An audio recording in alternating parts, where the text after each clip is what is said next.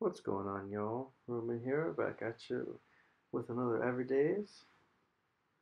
Got Michelle sleeping on my arm. Michelle helped me with uh, Everydays today.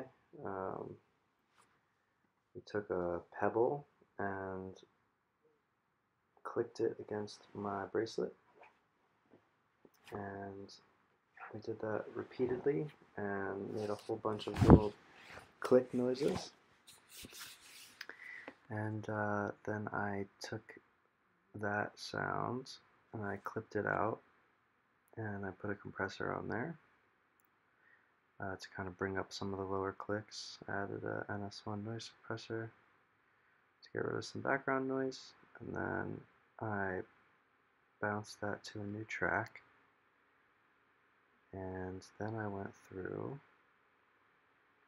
and oh then I reversed it and then I went through and in between every single click and I deleted I put I put it in shuffle mode which I don't normally use but um, shuffle mode will automatically snap the next clip to a join to the one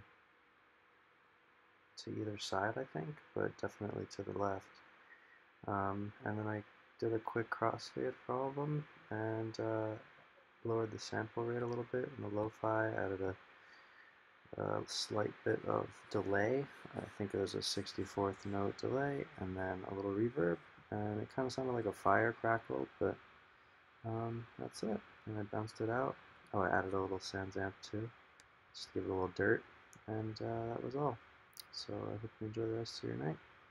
Uh, take care. God bless. Happy birthday, Steve!